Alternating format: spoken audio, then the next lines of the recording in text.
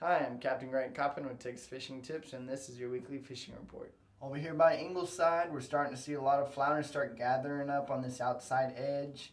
A lot of flounder guys been in here fishing.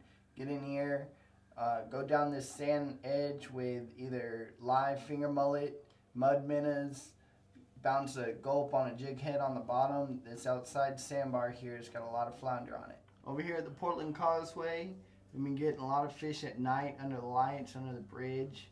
During the day, look for the bird activity out here in the main bay. A lot of schools of redfish moving around here. Still getting some good fish on peas. Over here in Oso Bay, from the college to the bridge, has been producing lots of redfish, flounder, a lot of black drum moving through here.